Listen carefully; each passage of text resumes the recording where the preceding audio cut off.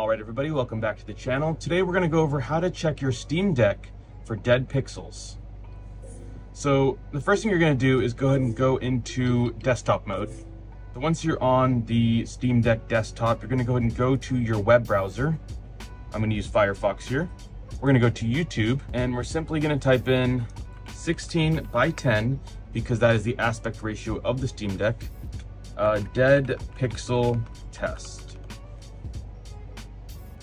and we're gonna, gonna go ahead and click on the video, put it in full screen, and it's really good to have your uh, brightness on max. It makes it easier to see dead pixels. And so pretty much what this video is gonna do is gonna go through a bunch of different colors and you're gonna have to inspect your screen to see if any of the colors do not match what the rest of the colors around them are. So we're gonna see like a solid black screen, a solid white screen, a solid red screen, etc. And it's gonna be pretty clear to tell if you have a dead pixel because it's gonna be a different color than what is supposed to be on the screen. I also recommend getting a microfiber cloth and cleaning off the screen right before your test. So let's go back and start the video and put it on max. And we're gonna go ahead and press play. I'll have this video linked down below, as well as a few other ones. So at each, look, we have a hair right there. That's why you want the microfiber cloth. You want to get that off. And you're gonna inspect each color for dead pixels. So I actually have a dead pixel right here. I'm not sure if you guys are gonna be able to see it on camera, but I will get some photos of it and put it here in the video.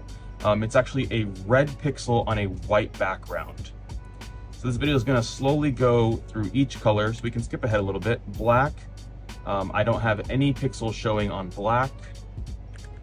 Jump ahead a little bit. I don't have any dead pixels showing on red. On green, that same dead pixel that was on the white is still here.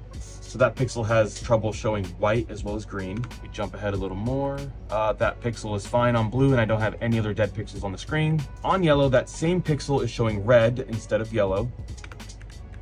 We can jump ahead some more. Here we have a pink and I don't have any dead pixels showing on pink. Here we have like a turquoise and that same dead pixel is showing black on turquoise. So yeah, that's how you test if you have a dead pixel on your display. So in my case, I had one dead pixel that was having trouble showing certain colors.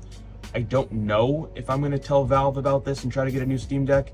It's really no big deal to me. It's just one pixel. If I had a cluster of them and it was really annoying and you could see them all the time, then I would probably go to Valve. I hope you guys found this video helpful. I recommend going out and testing your Steam Deck right away while you're still in the return window and warranty window, just in case you do have issues that you weren't noticing before. It's best to let Valve know as soon as possible so they can get you a new Steam Deck.